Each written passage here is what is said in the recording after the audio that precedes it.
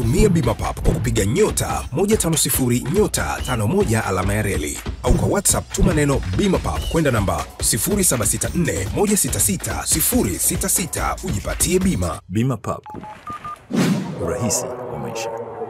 Leo sikukuu ya Eid el-Fitri inasherekewa nchini Tanzania ikiwa ni baada ya mfungo wa mwezi mtukufu wa Ramadhan, na jijini Dodoma, mbali ya siku hiyo kusherekewa kwa kufanya ibada eh, ya swala ya Idi kwenye misikiti mbalimbali, kumekuwa na utaratibu wa kufanya swala ya Idi kwenye uwanja wa Jamhuri jijini hapa, na kama ambavyo unajionea mtazamaji wangu, ni waumini hao wa dini ya Kiislamu wakiendelea na swala ya Eid, na mara baada ya swala sasa tukupata wasaa wa kuzungumza eh, na waumini mbalimbali wa dini ya Kiislamu ambao nao walikuwa na haya ya kutueleza.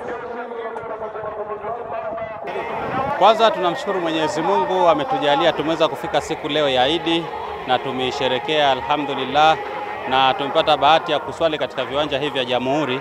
Tumesikia hutuba nzuri ya shekhe ambayo kwa hakika nimeweza kuzingatia mambo matatu. Jambo la kwanza ni la umomonyoko wa maadili na shehe amesisitiza kwamba mashehe, viongozi wa serikali na sisi viongozi wa jamii tunapaswa pia kumuunga mkono Mheshimiwa Rais wa Jamhuri ya Muungano wa Tanzania katika kuhakikisha kwamba Watanzania wanafata maadili yetu na sio maadili ya kutoka mataifa mengine, na tumesikia ubaya wa jambo lenyewe hili ambalo linaendelea kwamba eh, ni laana ya Mwenyezi Mungu.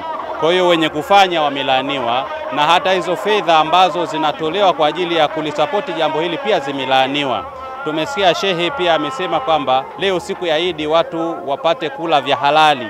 Maana yake hata hayo mashirika yaliyoyazungumzia yanaleta fedha huku, maana yake fedha zinatawanywa, watu wataendelea kuzila fedha hizo, pia ni haramu katika matumbo yetu.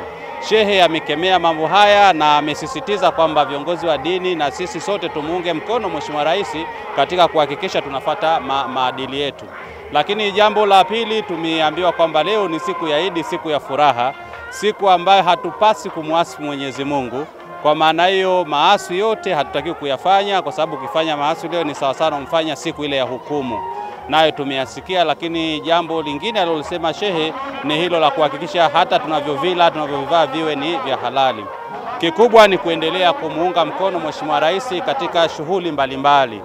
Idi ya leo na Ramadhani tuliotoka itufundishe sisi namna gani ya kuwa waadilifu, hata kusimamia utekelezaji wa zile kazi za maendeleo ambazo serikali ya Dr. Samia Suluhu Hassan ina, ina, inaleta katika majimbo yetu, na sisi wasaidizi wake katika majimbo tunamwahidi Mheshimiwa Rais kwamba hakika tutasimamia vizuri uadilifu na tutasimamia fedha za miradi ya maendeleo katika kutekeleza yale yale ya haki. Lakini pia jingine ambalo nataka niwasisitizie vijana, fedha hizi zinazoletwa na mashirika ambayo yanakuja kuharibu mmonyoko zisiwafanye vijana waache kufanya kazi. Vijana wajitume na wasipate kupokea vitu vya burebure, wanatakiwa wajitume, wafanye kazi ili waweze kuepukana e, na, na, na, na, na mambo maovu na maasi hayo ya kutaka vitu virahisi rahisi.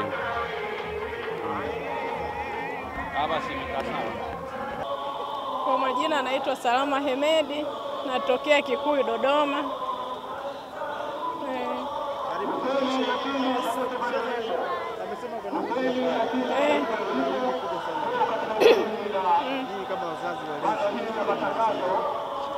Yaani swala kama hili mi naomba yaani tuendelee mambo tuliokuwa tunafanya mambo mazuri katika mwezi mtukufu wa Ramadhani. Kama hivi tunashukuru tumemaliza salama, tunaomba tuendelee tutende mambo mema kama tulivyokuwa tunatenda katika mwezi mtukufu wa Ramadhani ulioisha jana. Naomba tuendelee kutenda mambo mema, tusiache mambo tusi, tusitende mambo maovu. ah, Eh. Wimbo sasa hivi watu wanazungumza mambo ya ukatili, vitendo vyote kwenye ujamii, unyanyasaji au vinavyoenda kinyume na maadili.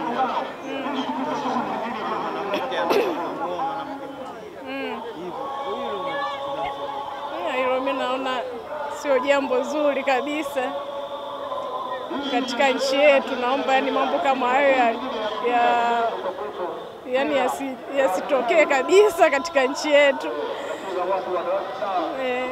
Asalamu alaikum, naitwa Husnat, natokea Dodoma. Nimeswali leo katika uwanja wa Jamhuri wa Dodoma, na Sheikh ametoa hotuba ya vijana, tuendeleze kumcha Mungu, tuache matendo mabaya.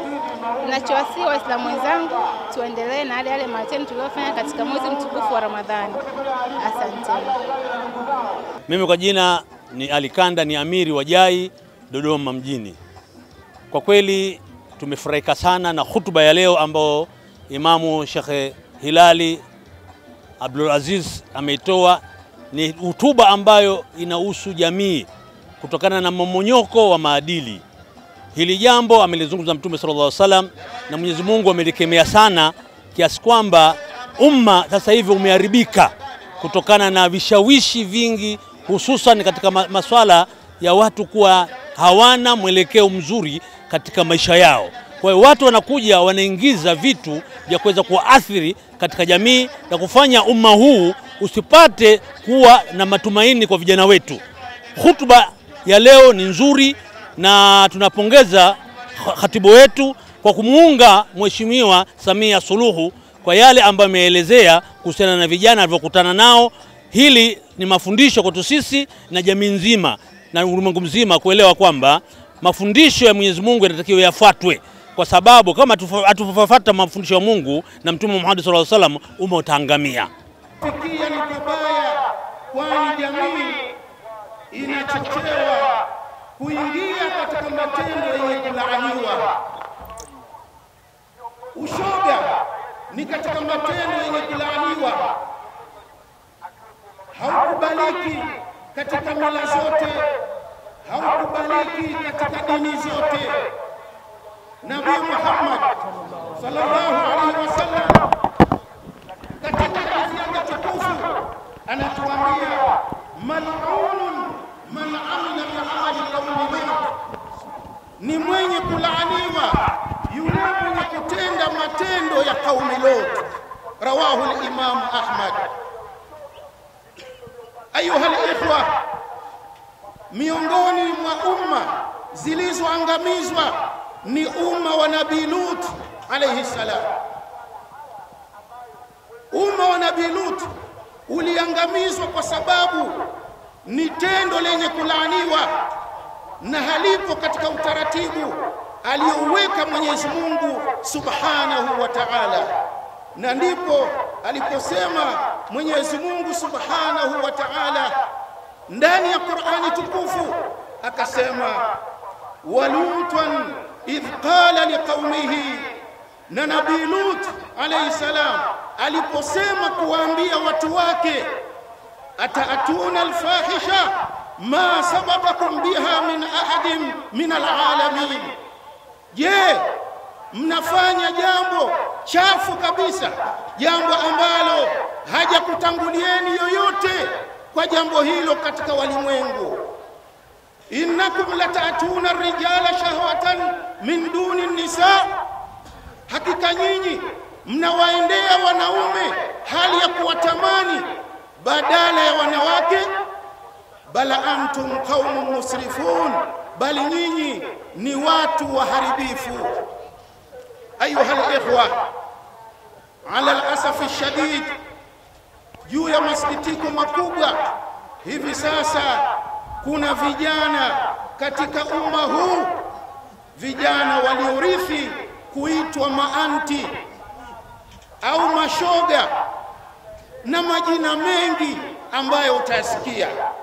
Jambo hili ni fitna, jambo hili ni fitna, jambo hili ni fitna kubwa, ni fitina mbaya, tena ni, ni fitina mbovu. Ndugu zangu, tumwangalie Mwenyezi Mungu Subhanahu wa Ta'ala. Anatuambia ndani ya Qur'ani yake tukufu, falyahdhari alladhina yukhalifuna an amrihi an tusibahum fitna au yusibahum adhabun alim, na wajihadhari wale ambao wanakhalifu amri yake Mwenyezi Mungu Subhanahu wa Ta'ala, wajihadhari an fitna, isije ikawapata fitna, isije ikawapata fitna. Isije likawapata balaa au yusibahum adhabun alim, au ikawapata wao adhabu iliyo iliyokuwa kali, adhabu yenye kutia uchungu. Mwenyezi Mungu Subhanahu wa Ta'ala hakukomelea hapo, akatuambia wattaqu fitnatan la tusibanna alladhina dhalamu minkum khassa, iogopeni fitna, iogopeni fitna, ubaya, iogopeni fitna. Au ubaya. Fitna ikija, ubaya ukija, hauwapati wale waliodhulumu tu, bali ubaya ukija utatuenea sote. Waalamu anna Allaha shadidul iqab, jueni kwamba Mwenyezi Mungu Subhanahu wa Ta'ala ni mkali wa kuadhibu.